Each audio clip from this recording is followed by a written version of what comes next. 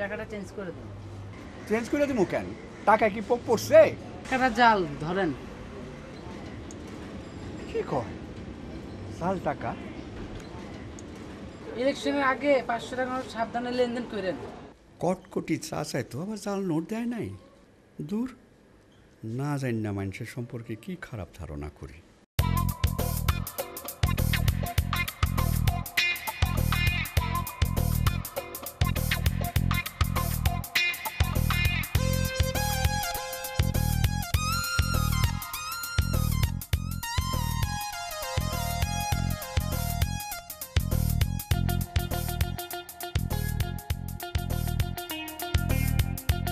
মা বলেছিল বলেই আমি অনকে কথা দিয়েছি। নয়তো দিতাম না পা। যার বাপ মায়ের ঠিক নাই সেরকম একটা মাইয়ারে ঘরের বউ করে আনে কেমনি? তুই কবাই তুমিও তো দেখি আপা বাবার মতোই কথা বলছো। ঠিকই তো আছে। আমি আব্বার মাইয়া না আব্বার মতোই তো কথা বলব। একটু বোঝার চেষ্টা করো আপা। ওর জন্ম ওর দোষ না। সবার উচিত ওর কর্মটা দেখা।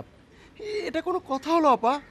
অনা আমাকে যখন দুই লক্ষ টাকা দিয়ে বিপদ থেকে উদ্ধার করল তোমরা কেউ তো পারলে না আমাকে সাহায্য করতে। তুই না বলছস টাকা দিয়ে সব কিছু হয় না? টাকা দিয়া তুই পৃথিবীর সবচেয়ে দামি দামি কাপড় চোপড় কিনতে পারবি। কিন্তু পাক পবিত্র কি হইতে পারবি? জবাব দে। না সেটা কি আর হওয়া যাবে নাকি? অহনা যত টাকাই দে ওর বাপ মার বিবাহ হয় নাই ওর জন্মে গলতি। এইটা কি টাকা দিয়ে ঠিক করা যাইবো? তাহলে আমি কি করব আপা? তুমি একটা বুদ্ধি দাও। তার উপরে অহনা মায়ের লগে নাকি জিন আছে। আব্বাই নিজে টের পাইছে। কি বলছো তুমি এসব? আপা তো ঠিকই বলছে। আমি তো দুলাভাইয়ের লগে কথা কমু নাই। এরকম কঠিন বিষয় চিন্তা কইরা সেই খালি উত্তম সমাধান করতে পারে। দুলাভাই কি বাসায় আছে? তুই কি পাগল? সে বিদেশে নানা কোম্পানিতে চাকরি দিয়ে লোক পাঠাইতেছে। তার কি ঘরে বসে থাকার সময় আছে? দুলাভাইকে বলেতে তাহলে বাইরে যাওয়া হচ্ছে সবচেয়ে ঝামেলা মুক্ত সমাধান। উফ। একটু চা খাওয়াতে পারবা আপা? ঠিক আছে তুই বস আমি চা নিয়ে আসি।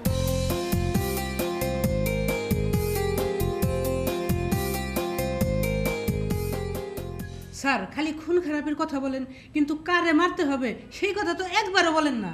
বলি নাই বলব। সময় মতো না বললে স্যার প্রস্তুতি নেব কেমনি? থানা পুলিশ এগুলো সামনের একটা ব্যাপার স্যাপার আছে না? আরে যারে মারবা সে তো পাইছে না আগেই মরে গেছে। একজন মৃত মানুষটা মারবা। মৃত মানুষটা মারলে জেল ফাঁস নাই থানা পুলিশের কোনো সমস্যা নাই। ডরাও কেন? তোমরা একটু বসো তোমাকে একটু চা খাওয়ার স্যার আজকে কিন্তু আবার স্যার ওই ঘুমের দাওয়াই মিশিয়ে দিয়ে না একরামুল্লাহ এক কাজ দুইবার করে না।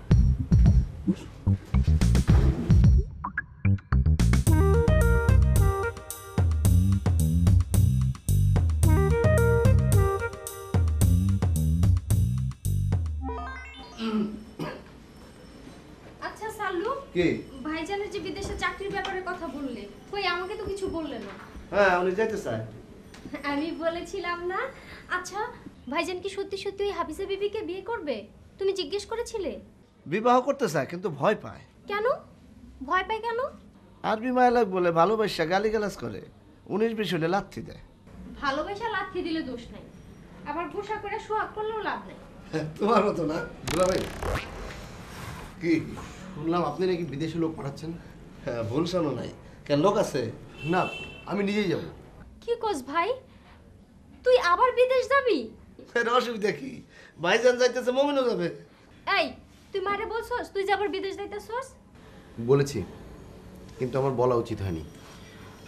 এবার যখন যাব কাউকে কিছু না বলেই চলে যাব। কেউ আমার মনের অবস্থা বোঝে না। মমিন ভাই তুমি কোন দেশে যাইতে চাও? আপনি কোন দেশে পাঠাতে পারবেন? ভিসার আবার একটা ঝামেলা আছে না? শুধু ব্যস্ত আর দর্শক ছাড়া সব দেশের ভিসা আমার কাছে আছে। শুধু ওই দুই জায়গার নাই কোন দেশে যাইবা ভাই? আমি ইংল্যান্ডেই যাব। ভাই তুই এটা কি কোস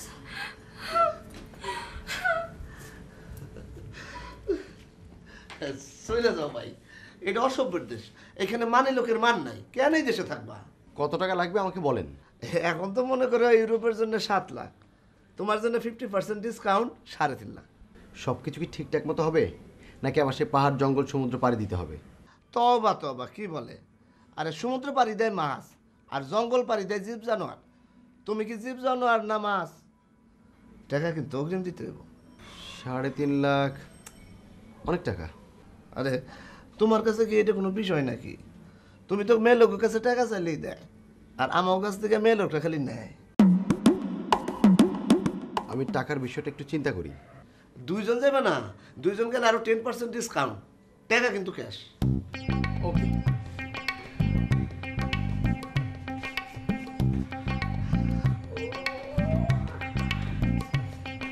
খালি আসতেছে আল্লাহ তুমি এবার মনে হয় আমার দিকে তাকাইছো রব্বানা আতিনা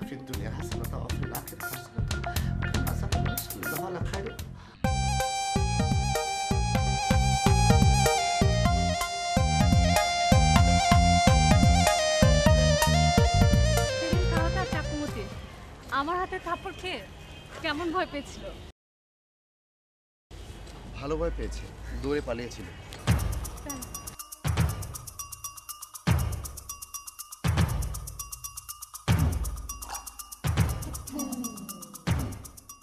তোমার তো মুড অফ হয়ে আছে যে?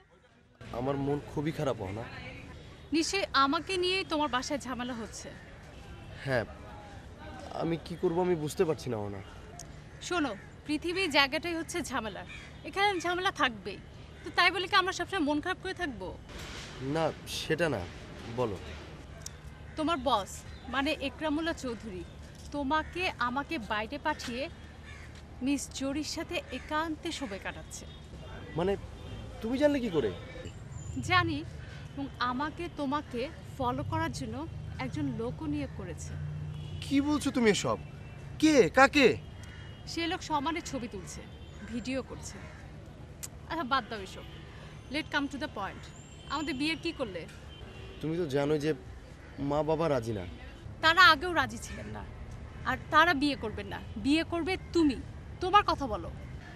আমি তোমার কাছ থেকে এতগুলো টাকা নিয়েছি। টাকা তো মানুষের প্রয়োজন। টাকা লাগলে আরও নেবে।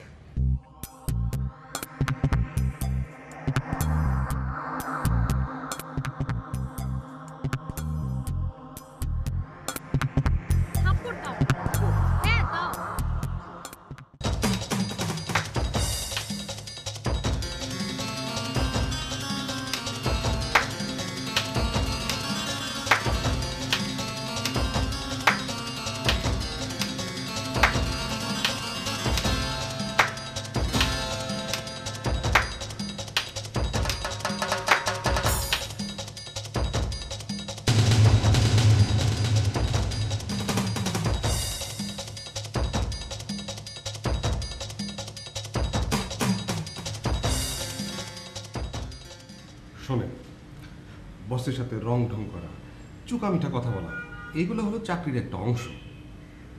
স্যার একটা কথা বলতে পারি? পারেন কিন্তু এখন না। এখন আমি বলব আপনি শুনবেন। বিদেশে বসগোর সাথে লেডি স্টাফরা কাজের কারণে একসাথে থাকে পর্যন্ত যাই হোক আচ্ছা আপনার ভাইয়ের যে সব চুরির দোষ আছে সেটা তাকে বলেন নাই মানে স্যার বুঝলাম না স্যার। ও তো স্যার খুব ভালো ছেলে। স্ত্রীলোক বিষয়ে সে লোভী একাধিক বিবাহ করেছে। মিথ্যা বলছি? আপনি এসব থেকে শুনেছেন স্যার? ধরে নেন আপনার কাছ থেকেই শুনছি। আমি তো আপনাকে এই ধরনের কোনো কথা বলিনি। বলছেন বলছেন। এত ঘাবড়ান কেন? যান কাজ করেন।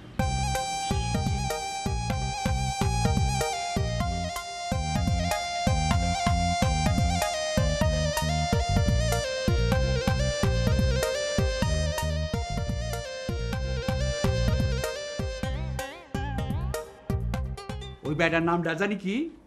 নোয়াব আলীবর্দী খার বংশধর বলে আব্বা। নবাব আলীবর্তী খা বেটা বাটপার জালি। ওরে ডাসা দিয়ে পিটান দরকার। ওই বাচ্চাটারে বিদায় দাও ঝামেলা খেদাও কটকরির বাপের লোক কথা না কই দেই কেমনে? ওই বেটার লগে কথা কইলে তো আরেক কিস্সা শুনবা। মেয়ে লোকের তো আবার কিস্সা শুনতে ভালো লাগে।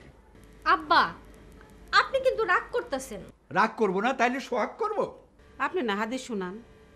আগুন যেমন কাঠের পোড়ায় কয়লা সালি করে ফেলায় গুসা তখন ভালো কাজের ছাই করে ফেলায় নষ্ট করে ফেলায়। আব্বা পানি আনি পানি খান আপনার গুসা ঠান্ডা হয়ে যাব লাগবো না আমি গিয়াই খাইতেছি।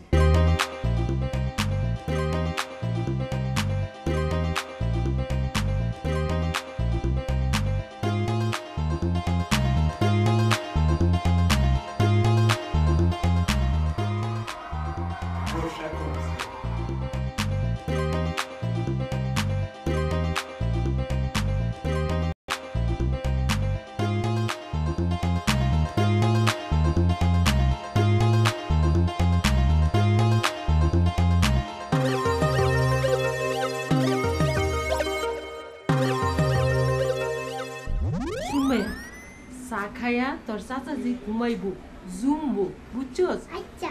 আচ্ছা কি? তারপরে কি করবি? সাবাস মানি ব্যাগটা চুরি কইরা আপনার দিয়া দিই সাব্বাস আমার বাপের বেডি ঠিক আছে এই চাটা লইয়া যা।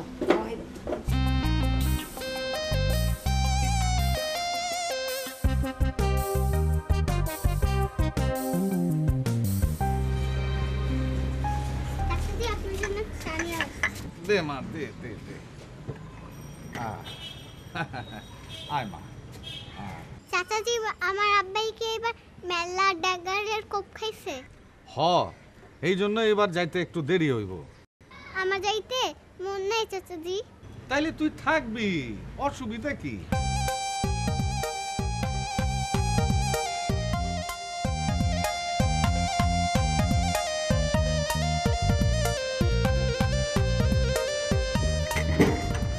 আসসালামু আলাইকুম। বসেন বসেন।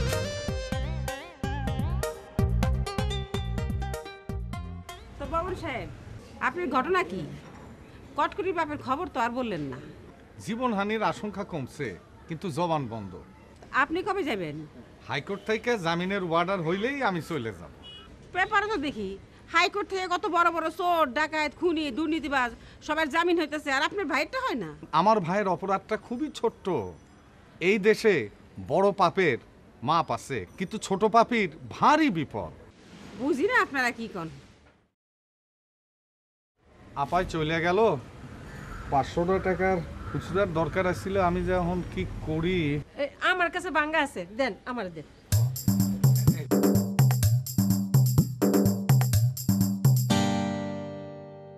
তুই জামা যা টাকাটা খুচরা করে যা। জাল টাকা সব শেষ করতে হবে।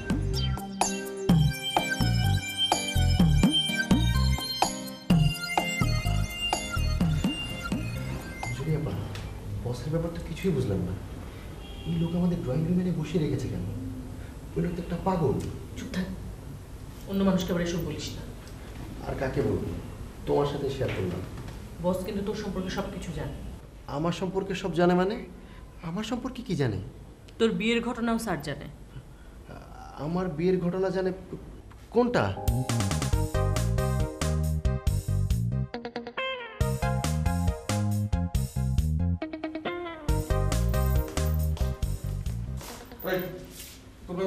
আপনারা যান আপনার সাথে কথা বলব না। ভাগেন ভাগেন ভাগেন। কি হলো বসে রইলেন কেন? যান।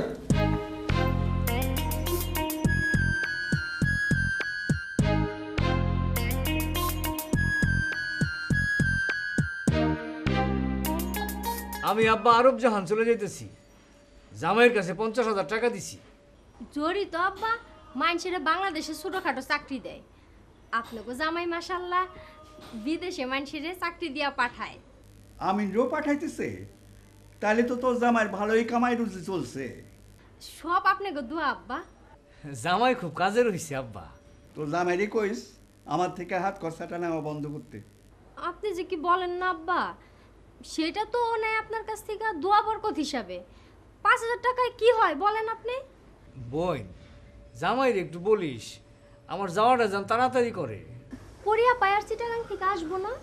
জানি না তাকে খবর আমি রাখি না। আব্বা ওই মমিন যেই মায়ের বিয়া করতে চায় সেই মায়ের উপর বলে জিনের আসর আছে? না কে বলছে এইসব ভাইজান? জিনের আসর তো আছে জড়ি পড়ি দুই বোনের উপর।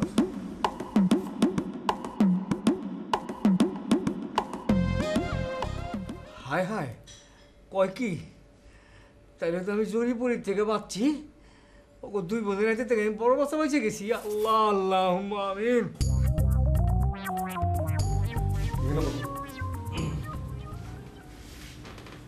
শোনো মমি তোমার আমি একটা বড় কাজ দিতেছি। এটা সমাধান করতে পারলে তোমার বিরাট প্রমোশন হবে। জি স্যার। আমি দুজন লোক নিয়োগ দিছি জোড়া খুনি। তুমি তাদের সুপারভিশন করবা। মানে বুঝলাম না স্যার। খুনিদের সুপারভিশন মানে? এইটা তোমার নতুন অফিস ডিউটি মানে স্যার দুজন খুনিকে সুপারভিশন স্যার আমি বুঝতে পারছি না স্যার। এত ডরাইতেছো কেন? দুই খুনি একজনটা খুন করবে তাদের জেল ফাঁস থানা পুলিশে কোনো ভয় নেই? কিছু মনে না করা গেলে একটা কথা জিজ্ঞেস করতে পারি স্যার? কাকে খুন করা হবে? তুমি তারা চিনো? আমি চিনি স্যার। তুমি যেন আরও ভালো করে চিনো সেই জন্য তো সেদিন সুযোগ করে দিলাম তোমারে। আপনি কার কথা বলছেন স্যার? অহনা। অহনা